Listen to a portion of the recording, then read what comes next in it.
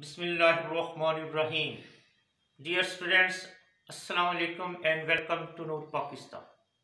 Today we shall learn about the use of can. Today we shall learn about the use of can. Can is a modal verb. It is also called modal auxiliary or helping verb. اس کو model auxiliary یا helping ورب یعنی امدادی فعل بھی کہتے ہیں it is used together with the main verb in sentence یہ سینٹینس میں مین ورب کے ساتھ استعمال ہوتا ہے۔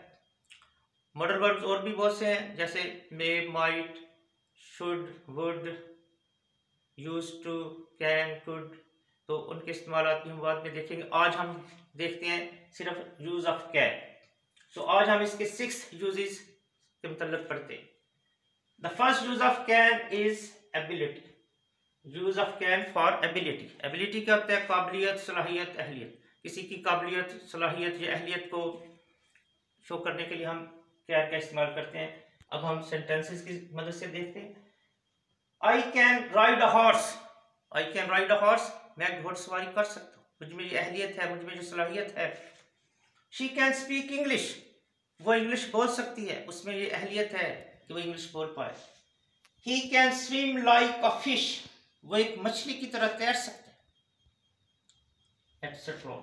The second use of can is for permission اجازت۔ پرمیشن نہیں اجازت۔ اجازت کے لیے اس کا استعمال دیکھتے ہیں۔ Students can use calculator during the exam طلباء امتحان کے دوران کیلکولیٹر استعمال کر سکتے ہیں۔ ان کو اجازت۔ Can we go home now کیا اب ہم گھر جا سکتے ہیں؟ کیا ہمیں اجازت ہے کہ ہم گھر چلے جائیں؟ Can I ask a question please کیا میں ایک سوال پوچھ سکتا ہوں etcetera number three request use of can for request درخواست کے لیے. کسی سے درخواست کرنی ہے تب بھی ہم یوز آف کین کر سکتے ہیں. Can you hand me the book کیا آپ مجھے کتاب پڑھا سکتے request can you help me کیا آپ میری مدد کر سکتے ہیں؟ Can I use your pen کیا میں آپ کا پین استعمال کر سکتا ہوں؟